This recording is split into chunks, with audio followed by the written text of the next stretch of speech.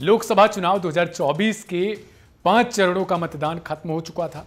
लेकिन अब छठे चरण को लेकर जो लड़ाई चल रही थी, वो भी आज फाइनली खत्म हुई। लेकिन इस बीच आज सबसे अच्छी तस्वीर तब सामने आई जब भारत के मुख्य न्यायाधीश डी वाई चंद्रचूड़ अपना वोट देने पहुँचे हुए थे, जिसके बाद वो मीडिया से भी मुखातिब हुए थे। बता दें कि छठे चरण में दिल्ली के सात सीटों समेत अट्ठावन सीटों पर वोटिंग थी।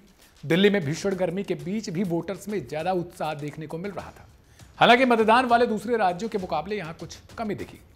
दिल्ली में शाम पाँच बजे तक का आंकड़ा बता दें तो चौवन प्रतिशत वोटिंग की खबर थी। इसी बीच सुप्रीम कोर्ट के मुख्य न्यायाधीश डीवाई चंद्रचूड़ ने भी राष्ट्रीय राजधानी में अपना वोट डाला। वोट डालने के बाद मीडिया से मुखातिब होते हुए सीजीआई डीवाई चंद्रचूड़ ने कहा कि देश के सभी नागरिकों के अपने इस कर्तव्य का पालन करना चाहिए।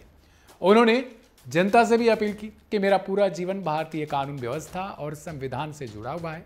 आज मैंने वोट डालकर एक नागरिक के रूप में अपने कर्तव्य का पालन किया है। ये हर एक नागरिक का बहुत बड़ा कर्तव्य होता है।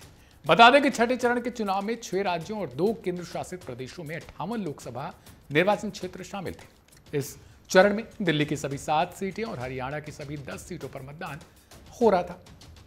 लेकिन जब डीवाई चंद्रचूड़ पहुँचते हैं उसके बाद उन्होंने मीडिया से मुखातिब होते हुए क्या कुछ कहा है वो एक बार आपको उनकी बाइट सुनवाते हैं फिर हैं this day?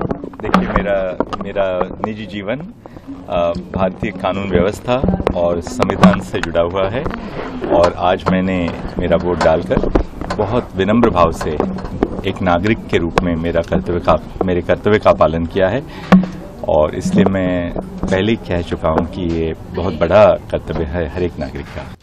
आपको बता दें कि अब सातवें चरण का जो मतदान होना है, उससे पहले ही ये तस्वीर, खूबसूरत तस्वीर देखने को मिली है। अब सातवां चरण एक जून को होना है और नतीजे फिर चार तारीख को आने हैं।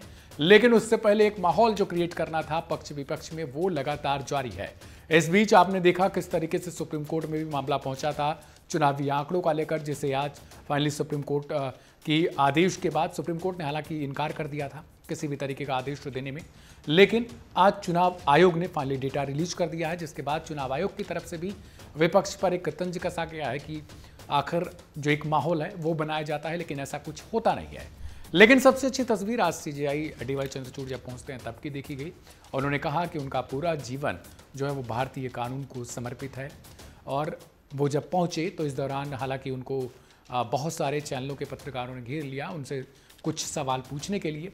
उन्होंने ये भी कहा था कि आज मैंने अपने, अपना वोट डालकर एक नागरिक के रूप में अपना कर्तव्य का पालन किया है।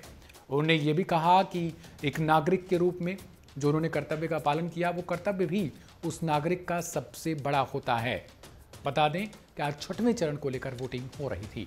हालाँकि सीजीआई के मतदान के बाद जो कुछ उन्होंने कहा है उस पर आपकी क्या राय है, उसे आप कमेंट बॉक्स के ज़रिए ज़रूर बताएँ और ऐसी ढेर सारी खबरों को देखने के लिए सब्सक्राइब करके रखिए वन इंडिया हिंदी।